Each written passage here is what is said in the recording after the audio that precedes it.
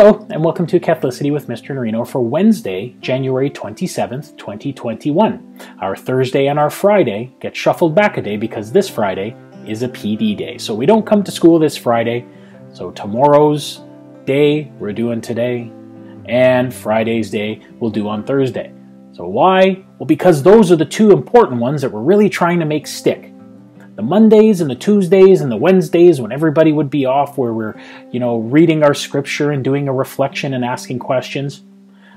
We're back in class and getting back into a routine, but the interactive nature of our Jamboard and our follow-up check-in day is something that we want to be able to continue. So today we'll be talking a little bit about some parables from the Holy Gospel of Mark and a big umbrella topic that you might have quite a few questions about. So we'll begin today in the sign of our faith in the name of the Father and the Son and the Holy Spirit. Amen. Good and gracious God, thank you for allowing us all to be together in this format today. Thank you for allowing all of our students to be back in the classroom for the first week since before Christmas vacation. We thank you for the gifts that you bestow upon us so that we can continue in our journey of faith. We thank you for the sacraments. We thank you for the gifts of the Holy Spirit. We thank you always through Christ. We make this prayer. Amen. In the name of the Father, and the Son, and the Holy Spirit. Amen. So, we'll begin today with a reading from the Holy Gospel according to Mark. Jesus began to teach by the sea such a very large crowd gathered around him that he got into a boat on the water and sat there, while the whole crowd was sitting beside the sea on the land. He began to teach them many things in parables.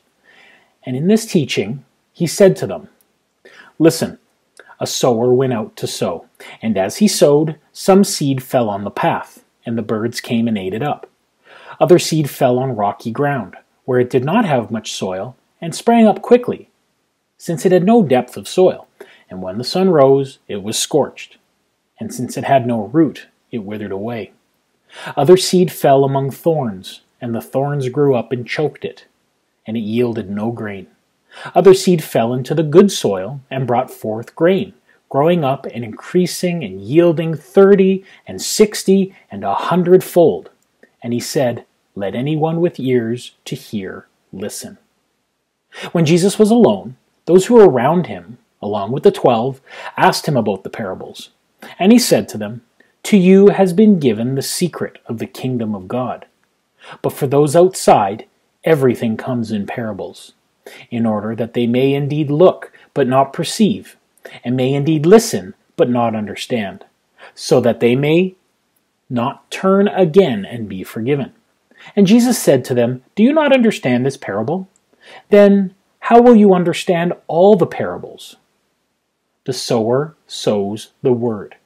These are the ones on the path where the word is sown.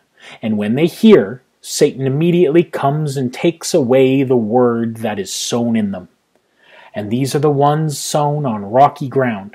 When they hear the word, they immediately receive it with joy, but they have no root and endure only for a while. Then, when trouble or persecution arises on the account of the word, immediately they fall away. And others are those sown among the thorns. These are the ones who hear the word, but the cares of the world and the lure of wealth and the desire for other things come in and choke the word, and it yields nothing. And these are the ones sown on the good soil. They will hear the word and accept it and bear fruit thirty and sixty and a hundredfold. The gospel of the Lord. Praise to you, Lord Jesus Christ. So, questions about that parable, about all parables, and an umbrella topic for today. Let's go to the Jamboard. So, welcome to today's Jamboard. We've got one of the few examples where Jesus actually speaks a parable and then explains what all of the parts of the parable are to the people who came up to him after. So, what are we trying to answer today? Getting your opinion on why you think Jesus spoke in parables. He did that very frequently. We've already talked about one or two before. But why do you think he chose to speak in that type of storied language? And for today, our big idea is faith. Faith isn't something we have, faith is something we are in. We are called to be true, loyal, and constant. Practicing faith is like developing any relationship. You have to give it time and attention. Faithfulness involves an awareness of God's presence in our everyday experiences. I understand that my purpose or call in life comes from God. I integrate my faith with my life. I respect faith traditions, world religions, and the life journeys of all people of goodwill. I reflect on God's Word in the Hebrew and Christian scriptures. I understand the saving story of our Christian faith.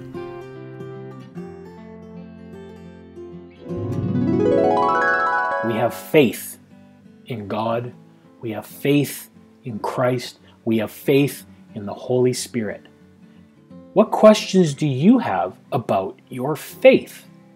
Your ability to believe, to be strong in your belief. What questions do you have about your faith? I'll do my best to answer those tomorrow. Looking forward to seeing what you come up with, and we'll review it tomorrow, Thursday. And Friday, you got the day off, so enjoy your long weekend where on Friday, your teachers and your ECEs, your EAs, your principals and vice principals will be working together to learn, to prepare, to assess, to do things to better your education so that when you come back on Monday, the journey continues.